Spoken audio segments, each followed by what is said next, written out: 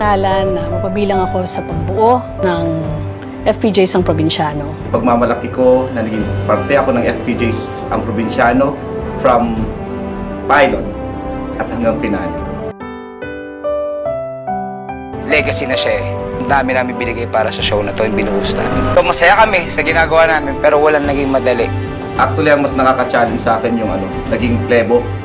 Sila Cardo, naranasan namin kung paano mag-umpisa ang isang pulis.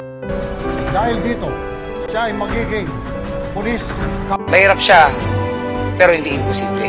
Laging ganun yung ano, mindset namin lahat. Sabi nga natin, di ba? Hawak kamay, kapit bisig. Laglag ka hanggang tumukod.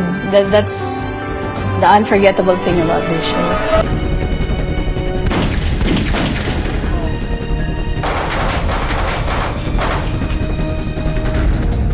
Ayop ka, Cardo!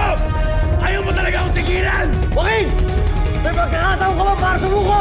Sumuko? Tiraulo ka ba? Bakit? Pulis ka pa ba? Baka nakakalimutan mo!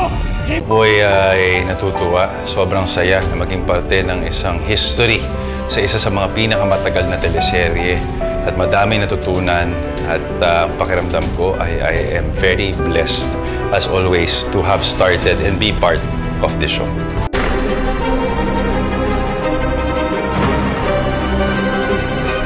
Patay na yan! Patay na. Unang-una po sa lahat, madami ako natutunan. Hindi lang sa pag-arte, kundi dahil sa buhay sa aming mga nakasamang mga seniors. At ah, gusto ko lang ah, magpasalamat po sa ina ng probinsyano ang rason kung bakit po natuloy ito. Tita Susan, maraming maraming salamat po sa inyo for giving me, everyone else, this opportunity. Also, ang kwentong probinsyano, hindi lang po si Tita Susan, lahat po ng cast. No, sa malalapit po sa akin na production din na walang sawang suporta, walang sawang tiyaga, walang sawang hard work every day. The show wouldn't be successful if not for the productions.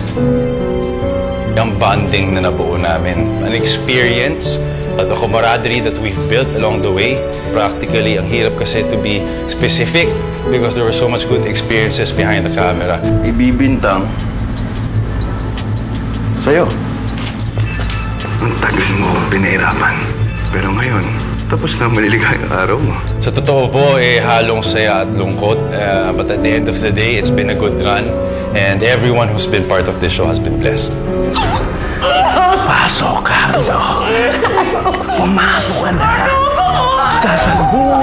Sasalubungin ni Cardo ang bala ko! Pasok!